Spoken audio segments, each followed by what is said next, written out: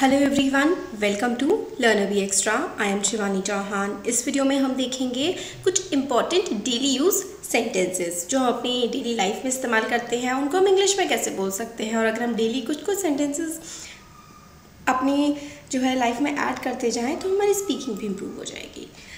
वह बहुत बातूनी है। शी इज़ वेरी टॉकटिव तो वह बहुत बातूनी है। ये हो जाएगा शी इज़ वेरी टॉकटिव मुझे शांति से जीने दो।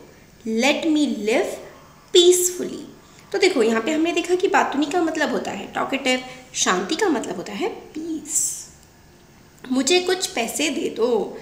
गिव मी सम मनी ज़ोर से ताली बजाना।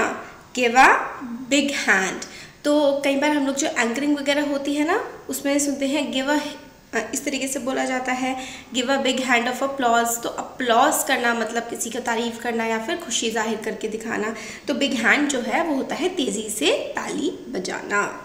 तो ये थे कुछ सेंटेंसेस होपफुली वीडियो पसंद आया होगा अच्छा लगा है तो लाइक करें, चैनल को सब्सक्राइब और शेयर करें। Thank you